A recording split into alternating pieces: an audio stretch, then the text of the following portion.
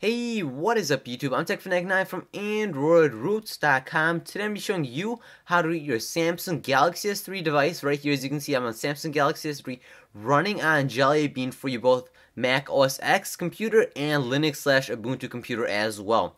So let's go and show you I'm on settings, go all the way down to about device. And here you can see I'm running on Android version 4.1.1. Let me go and tap on that a little bit and show you I'm running on Jelly Bean. So just to show you some proof that this will, method will actually work uh, once you're running on Jelly Bean for both mo OS X and Linux Ubuntu type uh, computers as well. So first thing you need to do is go and go into settings. Um, go all the way down to developer options. And if you don't have this version let's say Samsung updated it and you're running on Android version 4.2 um, go all the way down to about device. Tap or keep tapping on build number about 10 times until it says you are now a developer. So about 10 times it'll say you are now a developer at the bottom. Go back and go ahead and tap on developer options. Turn that on right there. Okay. And right here into USB debugging tap that and tap OK so once we have both developer options turned on and USB debugging turned on, go ahead and plug in your phone via micro USB um, here's mine right here. Plug it in via micro USB, and let's go ahead and head down to our computer. I'm gonna be using a Mac OS X, but this is the exact same steps for both Mac OS X and Ubuntu slash Linux. So let's go and do this.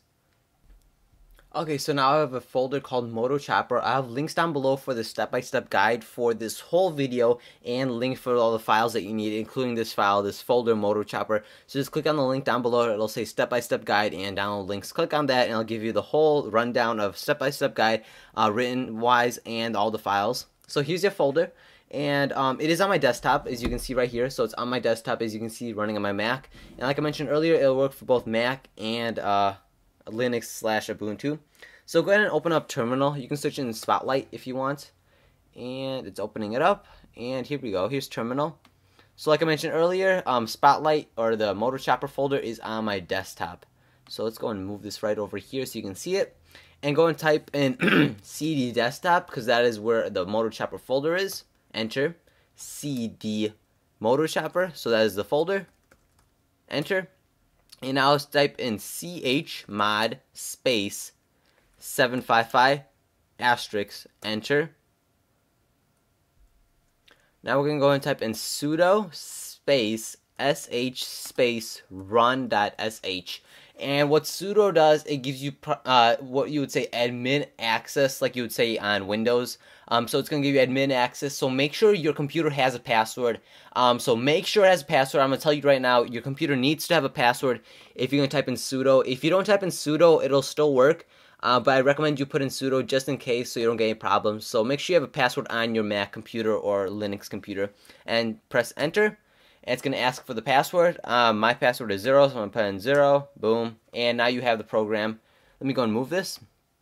And now it says uh, press enter to root, so make sure your phone screen is turned on um, just in case. So let me zoom out just a little bit, and let me go put that right there. And now it's going to say press enter to root, so let me go and focus that a little bit. So I'm going to press enter.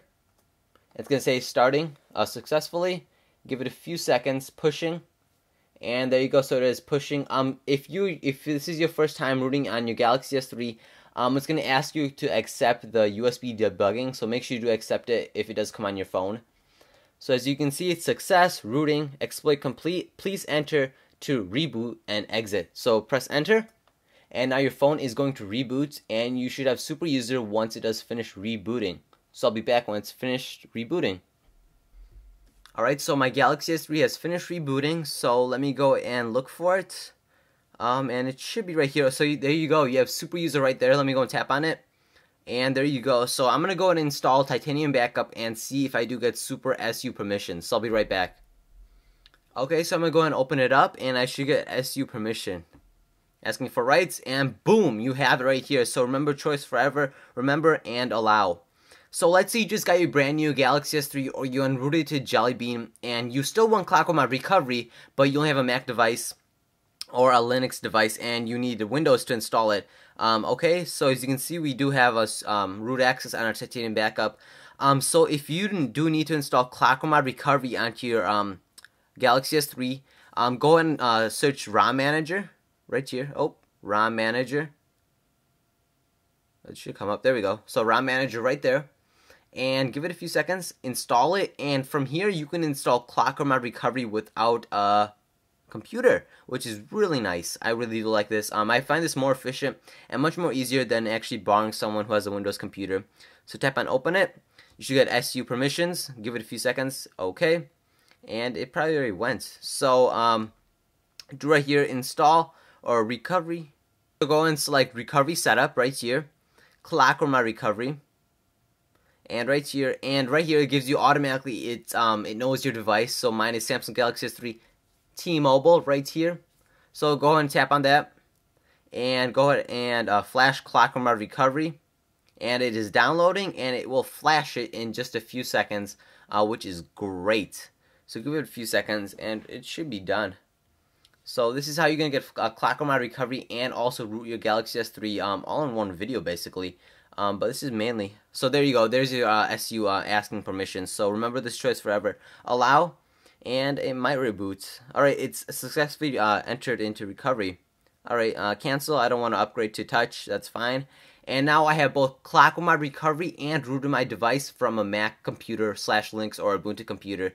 Um, this, like I said, mentioned earlier, um, I know I mentioned ice cream sandwich video. I will try to find a Jelly Bean version, which I finally did find. So this is how to root your Samsung Galaxy S3 um, quad or dual core. So make sure your US or Canadian Galaxy S3 um, it will work on this um, to root your device.